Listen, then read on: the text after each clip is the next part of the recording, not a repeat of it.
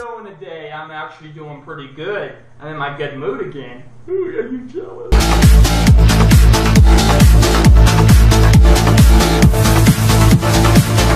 We're going to be learning the swirl blade.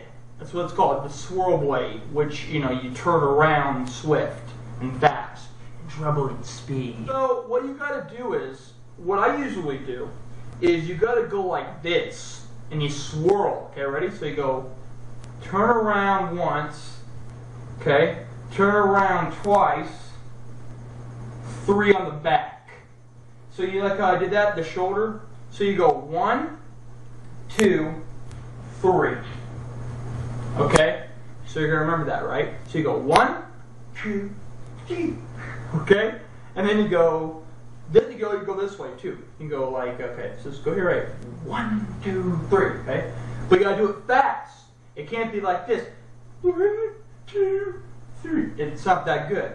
So that's what you usually do. You just got to move your shoulder blade this way.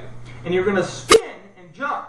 Okay, ready? So you go, you have the three combination, right? But then you go one, two, three, and then jump. Oh shit, I almost fell. Because I gotta watch out for this knife. I, I'm hoping I'll kill myself on camera. Um, so you go one, two, three on the back of this little plate right here, alright? So you go, okay, so it's doing, on the beat, right? You go, like that. Okay? So you go like this, like fast, like no, I'm just joking. But that's what you gotta do. You just gotta put your three shoulder blade like that and then spin like that.